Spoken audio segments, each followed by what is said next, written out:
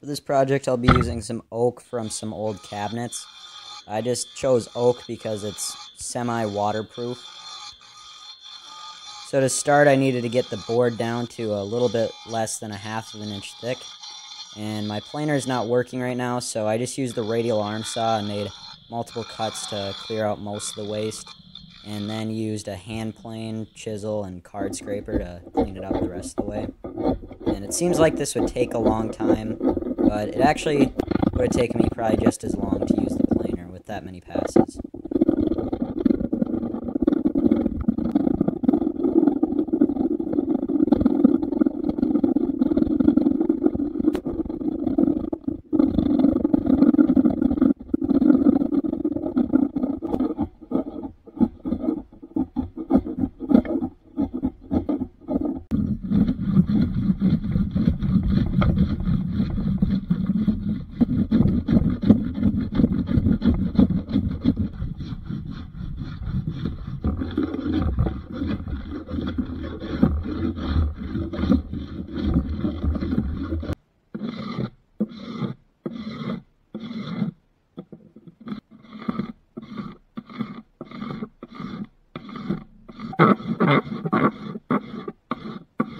Next I'm cutting the board into strips as wide as I want the cup to be tall.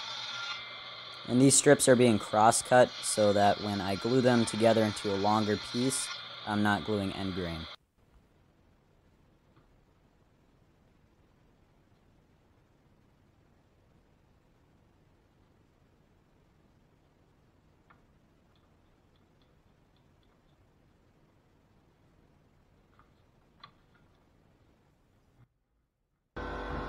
Once the glue dried, I lowered the blade on the table saw and cut a dado for the bottom of the cup to fit into.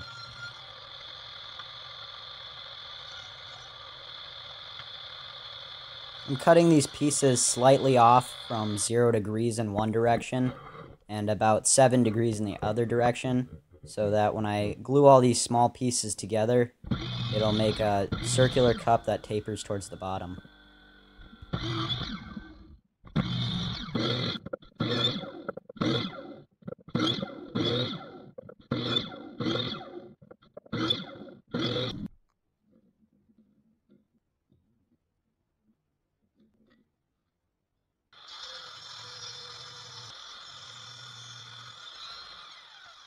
Now I'm making the bottom of the cup, and I just have to cut a quarter inch uh, circle to fit into that dado I cut earlier.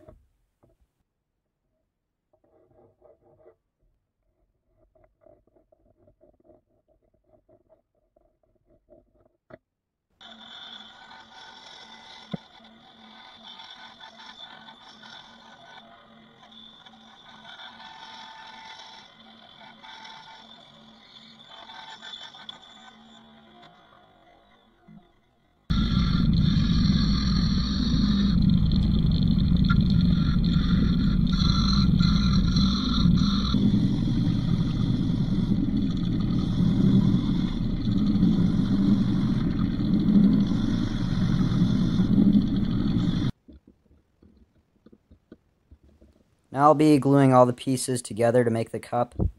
And I want this to be waterproof, so I will not be using wood glue. I'll be using epoxy for everything.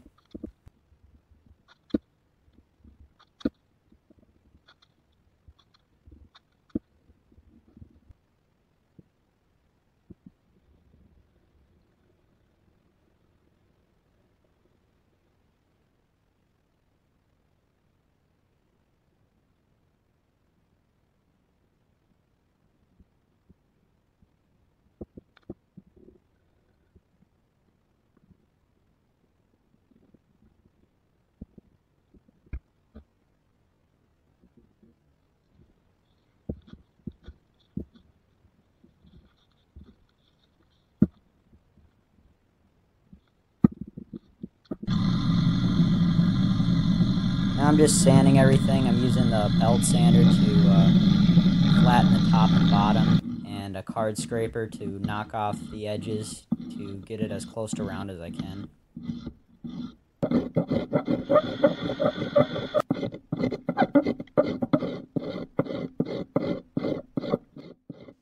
I don't have a uh, spindle sander, so I'm using the drill press to sand everything inside.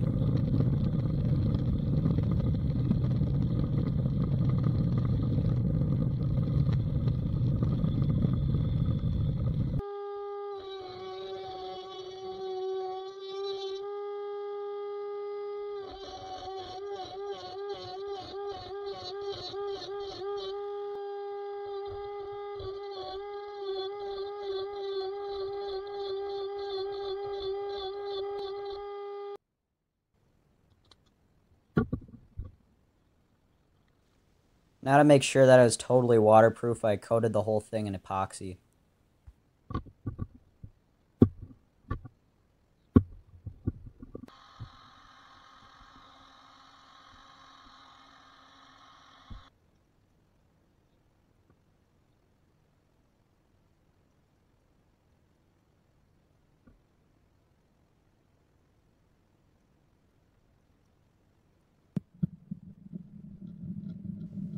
Now I'm cutting out the mortises for the handle to fit into, and I'm using a drill to clear out most of the waste, and then I came back with a chisel and a file to get down to the line.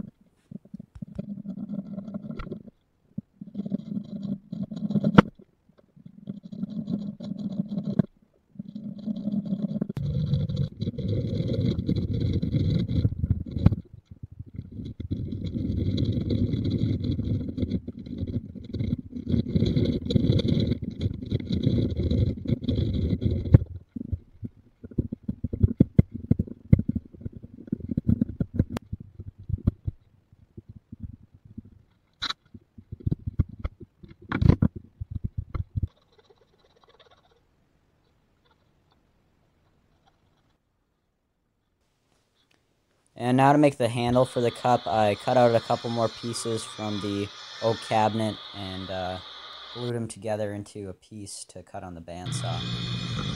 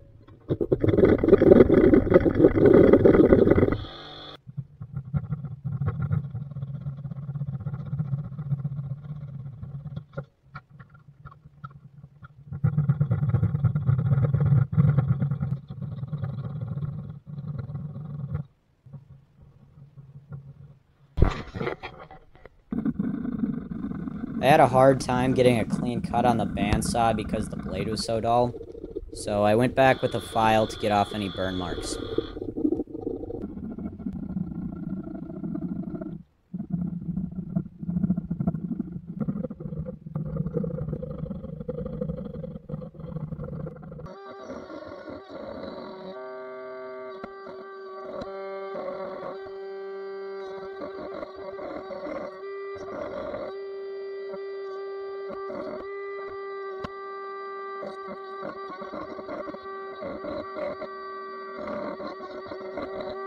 Kind of as an afterthought, I decided to cut some slots for some wedges to fit into to make the handle more secure on the cup. But that turned out to be a bad idea, and you'll see why in a minute.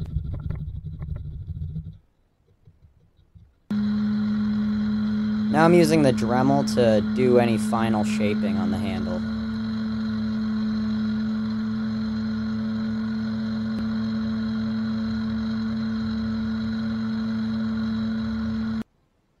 Now you can see I'm gluing the handle into the cup and attempting to drive the wedges in, but I did not think earlier of how I was going to do that, and I wasn't able to hammer them in, so I ended up just using a clamp to try to drive the wedge in, which did not get the wedge deep enough for it to do anything.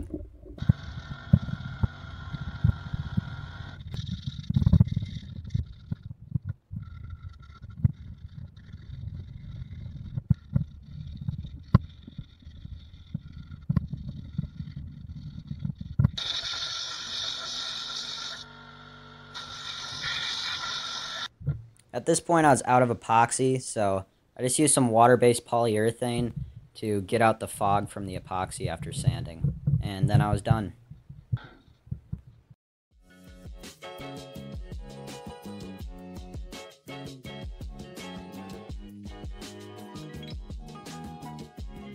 For those of you wondering, I do know that epoxy and polyurethane are not exactly food safe, and I would not condone using it on anything you're going to eat off of.